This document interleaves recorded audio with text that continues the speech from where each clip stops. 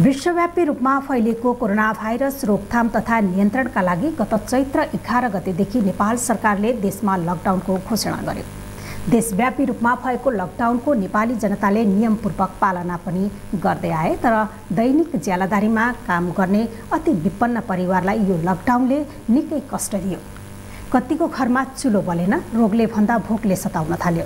हुन त नेपाल सरकारले विपन्न परिवारका लागि भनेर राहत प्याकेज पनि ल्यायो तर यो सबै ठाउँमा प्रभावकारी हुन सकेन। सोही कुरालाई मध्यनजर गर्दै होप धरान नामक संस्थाले लकडाउन भएको समयदेखि नै विपन्न परिवारलाई खाना खुवाउनेदेखि सडकमा बसेका व्यक्तिहरूलाई आश्रय दिने कार्य गर्दै आएको छ।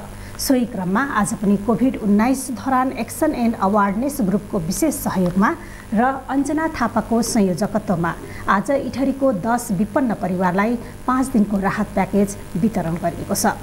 इटहरी वडा नम्बर दुईका दुई परिवार वडा नम्बर नौका छ परिवार र वडा नम्बर छका दुई परिवारलाई खोप धरान संस्थाका अध्यक्ष निश्चल पलिखे लगायत संस्थाका सदस्यहरूले राहत वितरण गरेका थिए।